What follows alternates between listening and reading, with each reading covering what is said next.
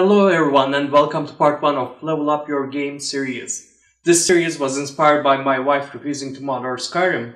Why wouldn't you mod it? I didn't know how or where to go to get the mods. The whole process is too intimidating for many users. Where do I get the mods? How do I download them and how do I install them? My aim in this series is to explain basics of Windows so you won't feel so lost when you need to mod not only Skyrim but any other game. This is part 1 of Level Up Your Game video series aimed to teach you gaming related Windows basics so you can enhance your gaming experience.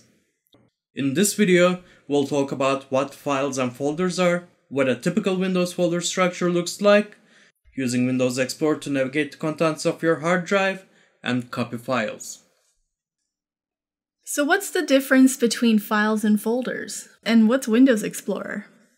Files are the data stored on your hard drive. Folders help us organize this data by storing similar items together. Windows Explorer is a program that makes it easy to find, run, copy, and delete files. By the way, I'm not talking about Internet Explorer, they are completely separate things. You can either access it by using the Start menu and typing Explorer like this, or by hitting the keyboard shortcut Start and E.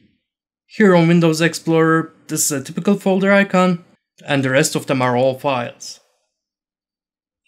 Why are all these file icons different? Different files store different types of data, such as image, music, game data files, and executables which tell your computer what to do. Windows assigns different icons to different file types, and it tells the difference between these files by looking at file extension, which is typically the last three letters of the file name separated by a period. Some of the common file types include JPEG for image files, MP3 for music files, EXE for executables, MPEG, AVI or MOV for movie files, PDF for documents, zip and RAR for compressed files. But by default, Windows hides all these file extensions, which make telling the difference between file types more difficult. Here's some of my recommended changes so you can see them.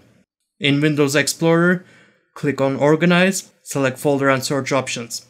Go to the View tab, under Advanced Settings, select Show Hidden Files, Folders and Drives, and unselect Hide Extensions for known file types, and then click OK. Now you'll be able to see all file extensions and hidden folders where some of your game data may be hiding. Okay, now I know all about files and folders and how to open Windows Explorer, but where is my Skyrim folder? First, let's start at the top level and we'll dig down to those folders. On the left side of your Windows Explorer, most important storage locations are displayed. Over here, C colon is your hard drive where your data is stored. Your hard drive will have several folders. In the Windows folder are the system files that make your operating system work. You should never delete anything inside this folder. The users folder is where all the user generated data is kept, such as your documents, downloads, settings, temporary files, and so on.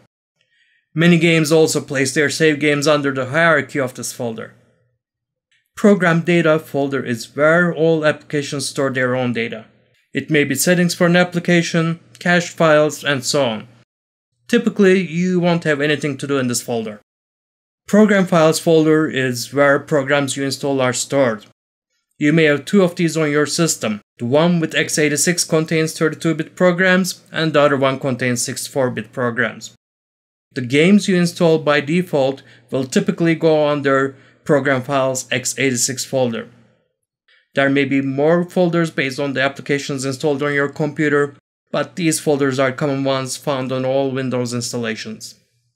To answer your question, since Skyrim's a Steam game, it's actually in Steam folder under Program Files x86. How do I copy and move files in Windows Explorer? There are many ways to accomplish this. Let's go over them.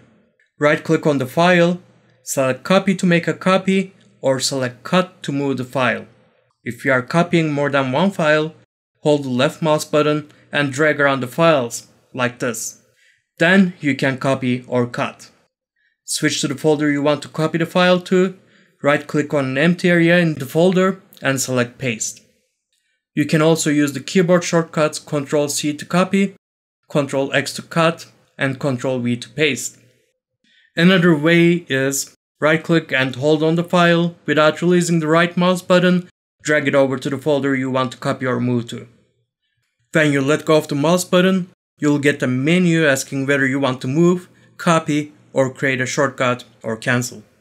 You can also use two Windows Explorer windows and drag from one to the other, like this. Your desktop can also store files.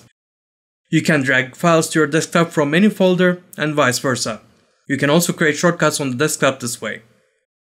Some of these mods say they need to be run as an administrator. What does that mean? How do I do it? To avoid harmful software, such as viruses, making changes to your computer, all programs are ran with limited privileges in Windows.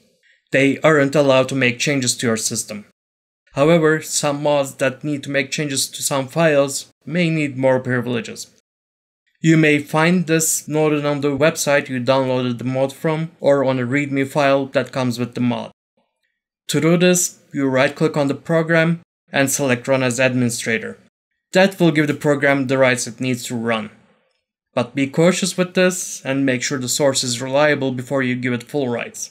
Modding sites I mention on this channel are reliable enough for this purpose. Now you have the basic knowledge necessary to navigate the contents of your hard drive copy files, what file extensions are, how to create shortcuts, and how to run programs with administrator rights. In the next video, we'll talk about downloads and working with compressed files. If you have any questions, please leave it in the comments and I'll do my best to answer them.